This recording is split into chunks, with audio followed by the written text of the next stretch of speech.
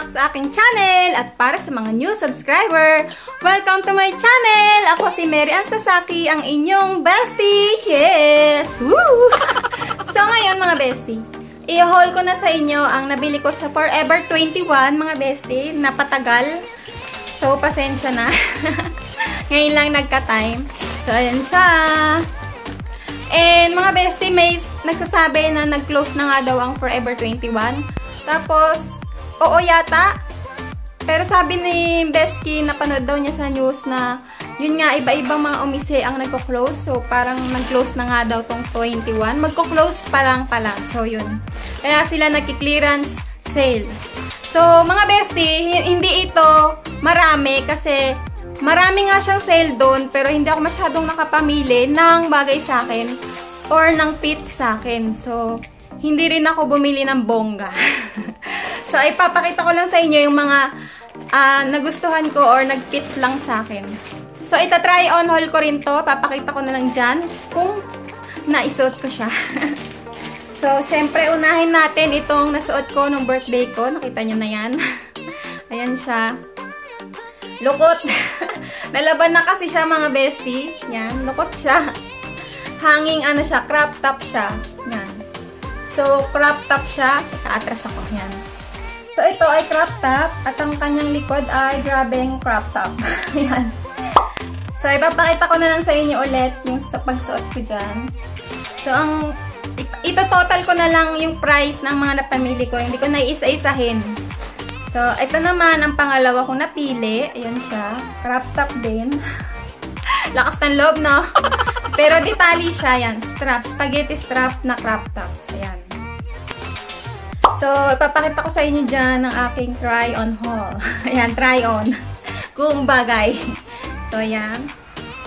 And, ang pangatlo kong napili ay itong uh, palda. So, ito siya. Palda siya, mga bestie.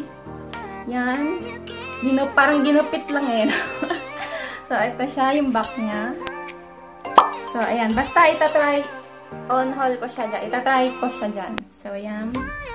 So, ang mga size ko ay small. Alam nyo mga best, ang size doon ay may small pero minsan malaki. Ang, ang gulo nga ng size eh. Kailangan mo pang isukat. So, ito naman ang one piece or dress na nabili ko sa itong Forever 21. So, ayan. Yan siya, pink and white stripe. So, ayan siya. At may strip siya dito sa likod. Ay, sa harap. At di-zipper siya sa May zipper siya sa likod, mga bestie. So, ayan yan. Medyo maluwag to sa akin. Nagkaan ata na mali ata ang pili. Wag. Ayan o. Anong size nito? Size niya M, pero ang luwag. Sinukat ko kasi yung eh, ano nito, S, pero masikip. Ito namang M, ang luwag. So, saan tayo pupunta? so, bibigay ko na lang to sa pamangking ko sa Pinas. Ang luwag eh. Oh nauhubo. And ito naman ay, ano din, dress din mga bestie. At hindi ko alam kung paano ko to susuotin or kung saan ko siya okasyong susuotin. ito, polka dots na one piece. Yan. Bali, ano siya, dress na mahaba long sleeve din siya. Pero ano siya, silk, yung kanyang tela ay silk madulas. At yung back niya ay sexy.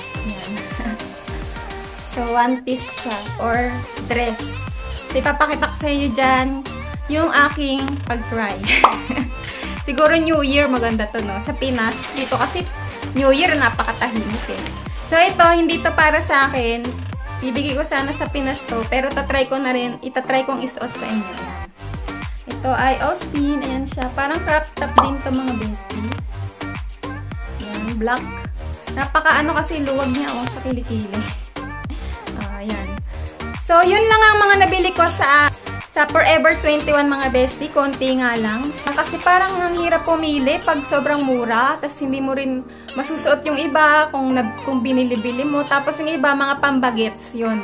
Mga pang teenager yung mga damit na nandun. So, hindi rin ako nakapamili.